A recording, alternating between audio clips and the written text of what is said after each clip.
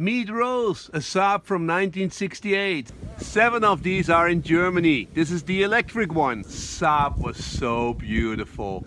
And Marco ripped out the gas engine and put in electric. Let's take a look. Already this is Okay, look. Beautiful Look how beautiful.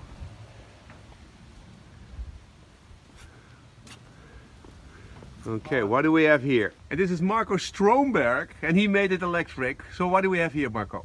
Yeah, here we do have the electric engine, three phases AC, Three phases AC, water cooled. water cooled, and this is a water cooled inverter box. The water cooled inverter box. And here we have do have six cells of the battery. six battery cells, and then of course 12 volts.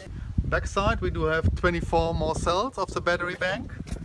Okay, and they're all balanced with the battery management system, Perfectly balanced with the BMS. and of course a switch.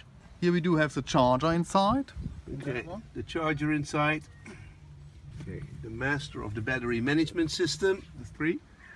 Look, and after converting it, it keeps like a total complete station wagon with a full trunk. Okay, all the space in the world. Let's drive it. So you want to drive with Mrs. Rose? Yeah! So it still has a gearbox, so it has a clutch.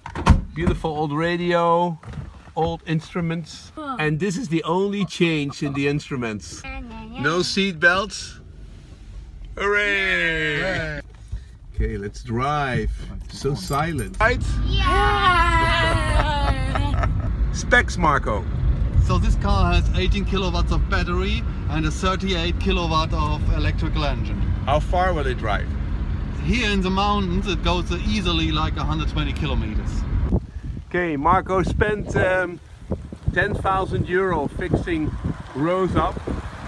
So silent, so beautiful. Oh, accelerates! Wow, cute.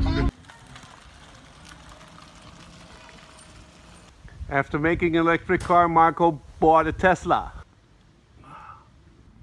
After making that car, I really appreciate what it is to make a Tesla Model S.